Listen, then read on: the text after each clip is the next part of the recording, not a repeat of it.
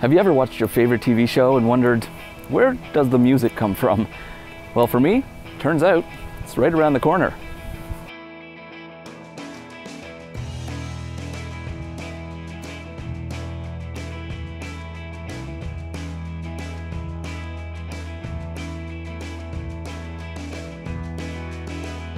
Welcome to We Live It, You'll Love It, the show where I get to introduce you to some of my community's most successful and inspiring people. My name's Nate. I'm a local filmmaker and I've teamed up with the Economic Development Corporation of North Simcoe so that I can connect with all kinds of inspiring and successful people within our community. Today, I'm in Little Lake Park, where I'm going to meet with Marlon Gibbons, a music composer with some pretty significant credits, who lives right here in Midland. Over time, um, I've had placements on like Bachelor, Bachelorette, Temptation Island, CNN, Dateline, uh, Amazing Race, uh, Dancing with the Stars. Uh, a lot of um, reality television uses the kind of stuff that, that I write, um, uh, as well as various ads and commercials around the, around the globe too. Grew up in a music family. Um, most of my family's from the, my extended family's from the East Coast. So, you know, the, the kitchen parties, the kitchen ceilidhs and that kind of thing.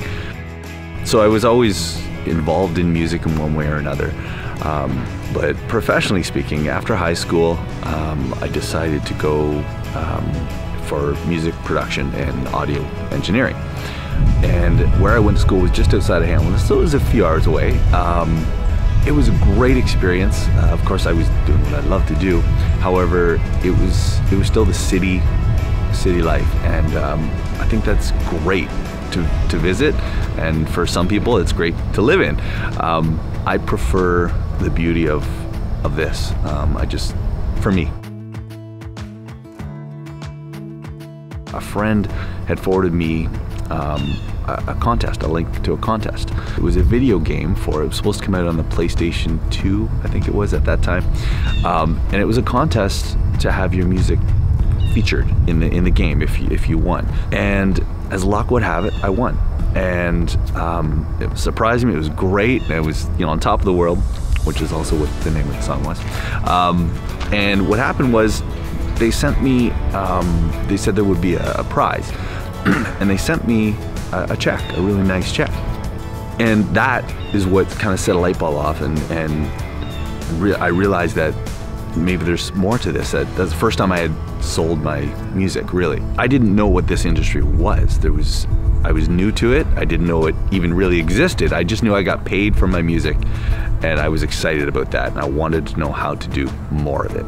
And as I started going down that path, I started meeting more people and slowly my music started to get picked up and, and placed and used um, and in TV shows and, and media projects. And um, it slowly unraveled and it's been it's been well over a decade now um, and I do it professionally and full-time and from the comfort of my hometown and you know I have a family here now and I don't have to fly to LA and and uh, um, you know all these other places around the world I can do it here and, and I love that for the most part I can do what I need to do here and uh, you know again, leverage the internet and a lot of my um, meetings and stuff are Skype meetings or phone calls, or texts, and technology, right?